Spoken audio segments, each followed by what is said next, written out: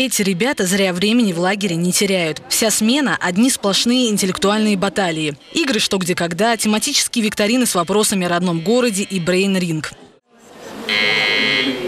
Активистка смены София Бегунова – игрок брейн-ринга со стажем. Сегодня она капитан женской команды. Говорит, выбирала тех, кто хорошо учится в школе. И девчонки не подкачали. Команда победила со счетом 3-0. Когда у нас была команда с первым отрядом, мы соревновались, а у нас был правильный ответ, но мы засчитали нам фальш-старт. Вот, и мы решили собраться всем духом и победить третий отряд.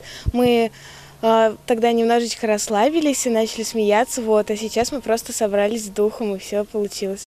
У меня была задача, нам сказали найти ребят отобрать, которые будут участвовать, которые хотят, собственно.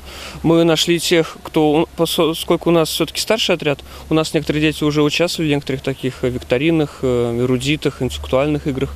Вот. Ну и, собственно, мы уже знали просто, кого отправить. Если бы я мог бы, я бы сам с удовольствием поиграл. Я сам очень много участвовал в них. Интеллектуальный фестиваль «Лига знатоков» в Самаре проходит уже 6 лет. Теперь он вошел и в национальный проект «Демография». По словам организаторов, после летней смены дети-победители игр смогут записаться в интеллектуальный клуб «Лига знатоков» и начать профессиональную карьеру. Фестиваль объединяет ребят, они учатся, смотрят друг на друга, взаимодействуют.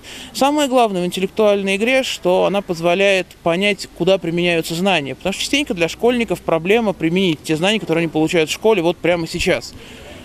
Вот она находка. Мы популяризируем. Победителей ждали ценные подарки – планшеты, в которые скачана полезная для дальнейших интеллектуальных побед литература. Валерия Куценко, Дмитрий Мешканцов. События.